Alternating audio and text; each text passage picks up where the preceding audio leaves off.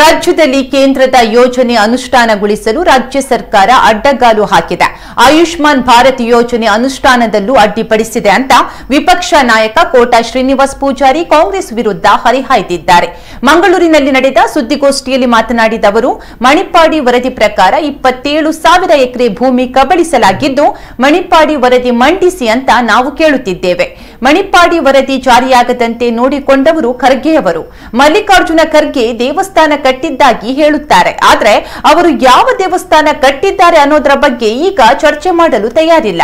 ಇನ್ನು ಪ್ರಧಾನಿ ಮೋದಿ ಹೇಳಿದ ಹಾಗೆ ಕಾಳಧನಿಕರು ಬೀದಿಗೆ ಬಂದಿದ್ದು ಐಟಿ ಸಂಸ್ಥೆ ದೇವೇಗೌಡ ಪರಮೇಶ್ವರ್ ಸಂಬಂಧಿಕರ ಮನೆ ಮೇಲೆ ದಾಳಿ ನಡೆಸಿದ್ದರು.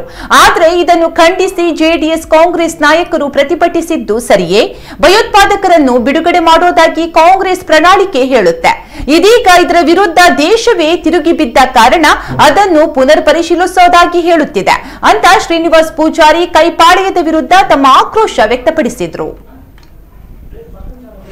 ಎಲ್ಲ ಪ್ರಜೆಗಳಿಗೂ ಕೂಡ ಸರಿ ಅನಿಸುವಂತ ಒಂದು ಕಠಿಣವಾದಂತಹ ನಿರ್ಧಾರವನ್ನ ಮತ್ತು ಪೂರ್ಣ ಪ್ರಮಾಣದ ಪ್ರಣಾಳಿಕೆಯನ್ನ ಸಾರ್ವಜನಿಕರಿಗೆ, ಮತದಾರರಿಗೆ ನೀಡಲಾಗಿದೆ.